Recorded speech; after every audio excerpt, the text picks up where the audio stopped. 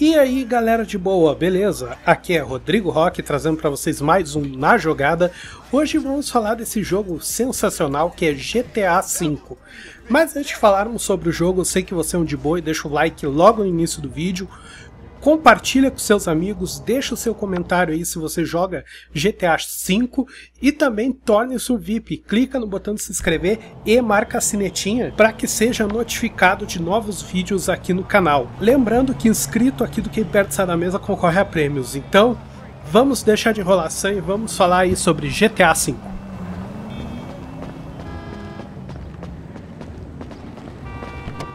É galera, não parece, mas GTA já está completando quase 4 anos do seu lançamento. Ele foi lançado em 17 de setembro de 2013, ou seja, faz tempo pra caramba que saiu esse jogo. E mesmo assim ele continua sendo adorado pelos fãs aí, ele continua sendo um jogo muito ativo, um jogo que continua tendo muita coisa sendo lançado para ele. E porque que GTA V se tornou essa coisa tão grande? Primeira coisa foi a mudança do jogo, que pela primeira vez na franquia GTA a gente tinha mais de um protagonista no jogo. Que nesse jogo, no caso, nós tínhamos o Franklin, o Michael e o Trevor. E tu tinha a opção de ir trocando entre eles durante o jogo. E essa mecânica foi muito bacana. Cada personagem tem uma habilidade diferente, então eles estão sempre trocando, assim, tu troca pra um, tu vê que, por exemplo, ah, o Trevor é o doidão, o Michael é o estressado e o Frank é o, é o maloqueiro, como eu costumo dizer, é o cara da periferia. E eu achei muito bacana esse esquema, porque ele deu uma revitalizada no jogo. Não que o GTA precisasse de uma revitalizada, mas nesse caso ele deu uma revitalizada que fez diferença que fez o jogo ser um pouco melhor, fez o jogo ficar mais divertido.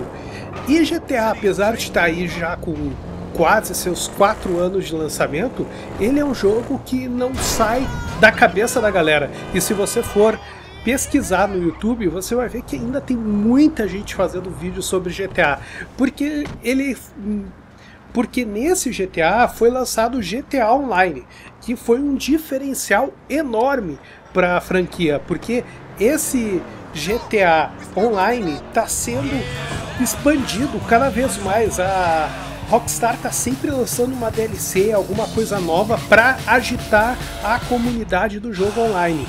E muita gente se pergunta quando virá o GTA 6.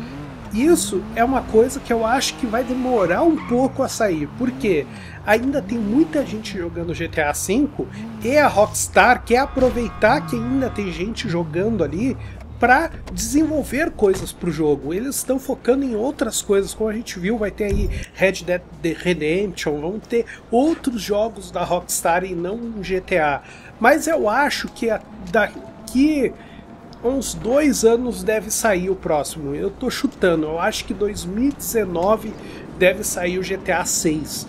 E, e, parece muito tempo, é, mas se tu for pensar, franquias como Skyrim mesmo ficaram um bom tempo aí no, no hype, então não, tem, não tinha por que eles lançarem novo. Tanto que o Skyrim até hoje não foi lançado.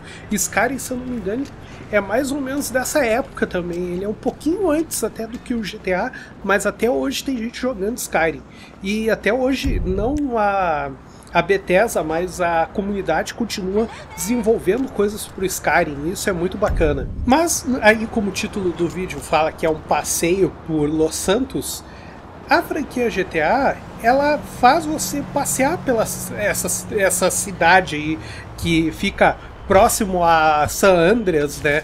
Que, que é uma cidade enorme para se explorar. E cada coisa que você vê na cidade, que nem eu falo, GTA, ele é um jogo tão bom que você não precisa nem fazer as missões às vezes. Ele tem tanta coisa para você fazer sem ser as missões do jogo em si, que você pode passar horas jogando sem fazer as missões. Eu, por exemplo, tinha locais da cidade que tu parar para observar, sério porque era muito bem feito o cenário, era muito bonito de ver. E eu acho que essa é uma diferença que o GTA tem de outras séries. Além de ter esse cenário gigantesco, ele tem essa qualidade de imagem, ele tem essa perfeição que eles tentam cada vez melhorar cada GTA que eles estão lançando.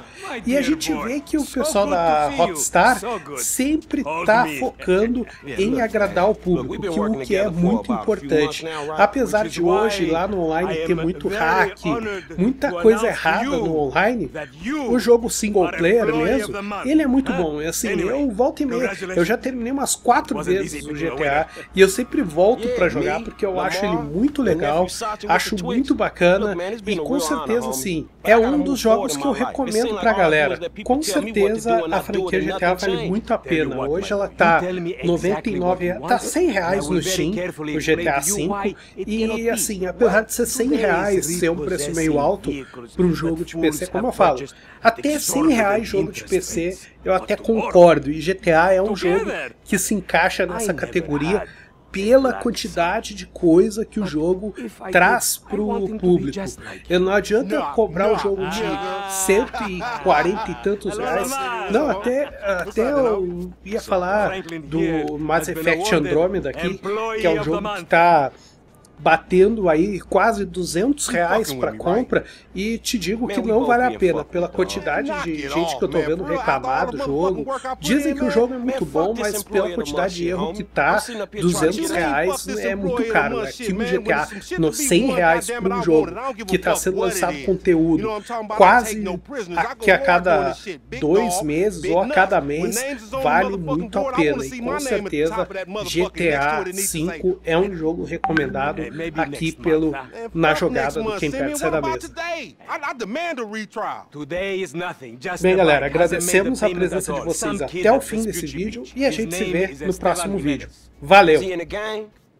Curiously enough, I did not inquire when he bought the bike.